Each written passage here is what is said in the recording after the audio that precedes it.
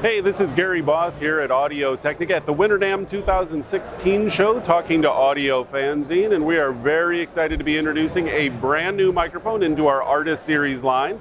It's called the ATM 230. Now, the ATM 230 is a hypercardioid dynamic tom microphone. When I say that, it is purpose built for rack and floor toms.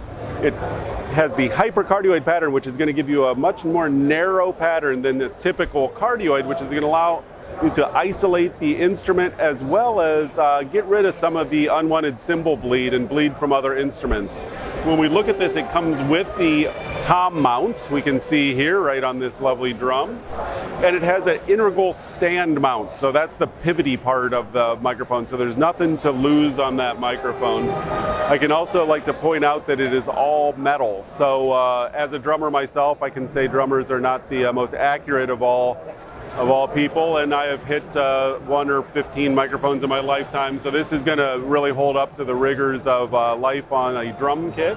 Again, this is a purpose-built capsule, so this is going to give you all the attack on the drum, all that stick hit on the front of the drum, and then that's going to blossom into a really big tom sound. It's meant to exaggerate the toms and floor toms. That's the ATM 230 from Audio Technica, also available in a convenient three-pack.